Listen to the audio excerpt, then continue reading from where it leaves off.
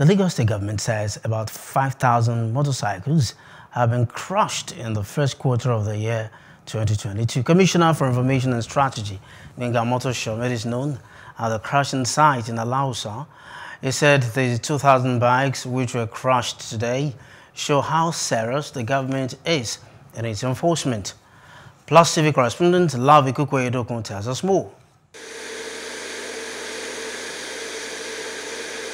Here are over 2,000 motorcycles, also known as Okadas, being crushed by the Lagos state government. It goes to show the seriousness that the state government attaches to ensuring that the state is rid of Okadas and its menace. Commissioner for Information Gbenga Omotosho and Transport Commissioner Dr. Frederick Oladeinde walked journalists through the crushing site to witness the destruction of the motorbikes. People have been wondering what we've been doing with the Okadas that have been taken out of a town.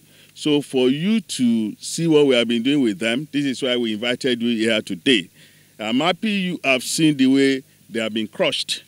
Mr. Omotosho says that the government had to take the enforcement seriously due to the excesses of the riders and the alarming rate of road accidents recorded this year alone. In the first four months of this year, we had uh, 1,712 Okada accidents. Of these, 700 uh, of road accidents. Of the 1,712, 767 were due to Okada. Omotosho, however, called on riders securing through the state ultramodern transport schemes to get actively engaged.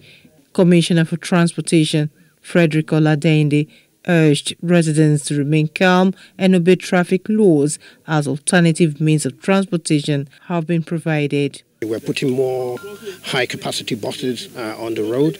Um, the government is working around the clock to make sure that our rail system is uh, is working. We've increased the number of boats on our waterways, and they should just be calm and uh, move about their daily uh, business. Chairman of Lagos State Task Force says there is no going back on the enforcement. We don't see Okadas on the road on the express any longer. The number has drastically reduced. But I know for sure, and I'm passing this information to them because they, they are watching us they might be of the belief that the first one week of the enforcement will be thorough. After one week, we are going to relax. Anyway, we will, we will watch and see. But I'm passing this uh, message to them that from next week, we will do more intense enforcement. With the recent pronouncement and a continued enforcement on the ban, Lagosians hope is not short-lived so that the sanity is sustained. From Lagos...